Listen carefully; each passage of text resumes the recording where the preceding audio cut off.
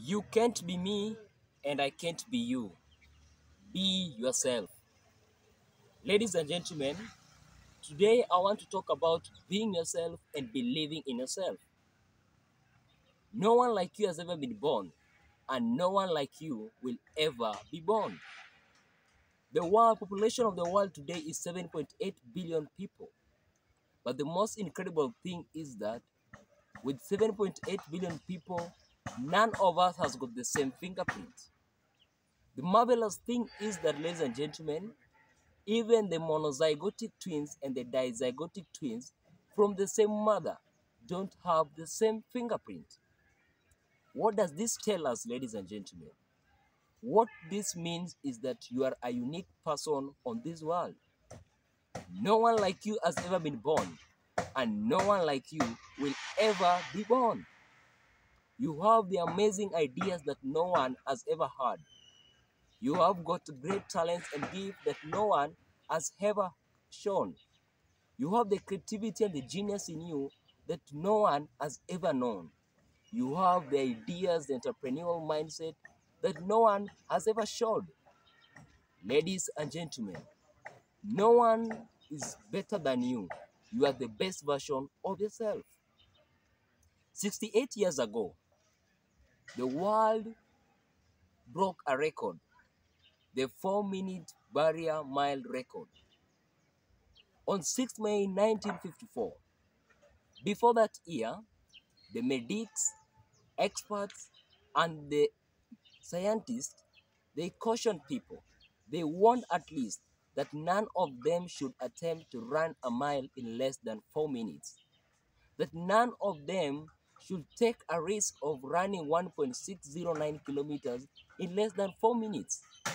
But on that year, on 6 May 1954, on the Iffley at the Iffley road track, an incredible thing happened, which was a shock to the world.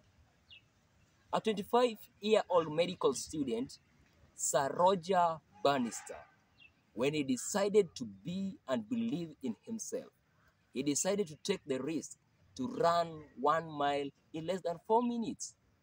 And the person managed to run the, run the marathon of one mile within three minutes and 59.4 seconds.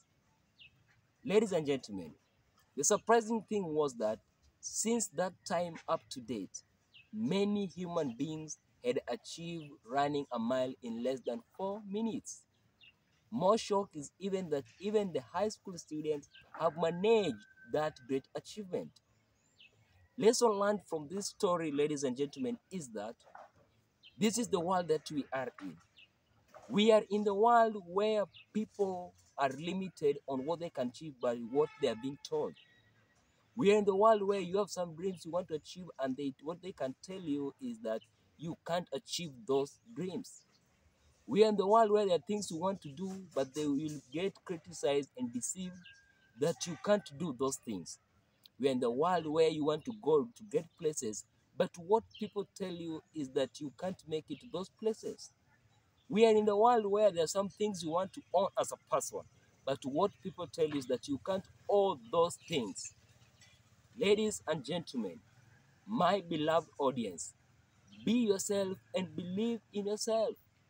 Stop comparing yourself with other people. You are not a winner by defeating them.